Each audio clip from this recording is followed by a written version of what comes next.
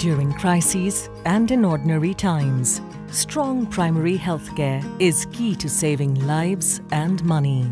It's also the foundation of strong, resilient health systems that work better for all people.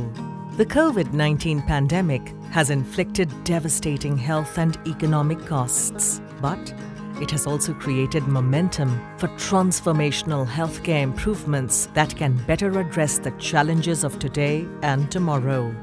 Reimagining primary healthcare means higher quality services, putting patients at the center of care, increased fairness and accountability, and more resilient health systems.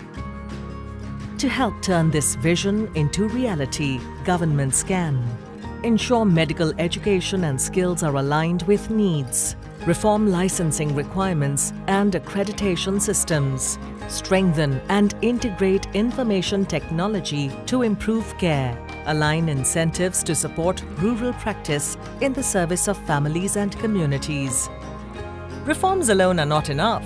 Significantly increasing primary healthcare financing in developing countries combined with necessary reforms are urgently needed. Governments can raise financing through the taxation of tobacco, alcohol and sugar. Increased donor support is also needed, especially for poor countries. Strong primary healthcare saves resources through better preventative care and better preparedness for health emergencies.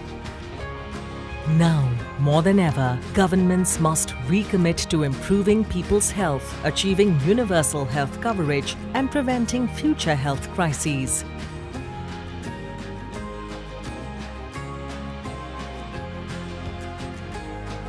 Let's work together to invest in health. Learn more at worldbank.org forward slash PHC.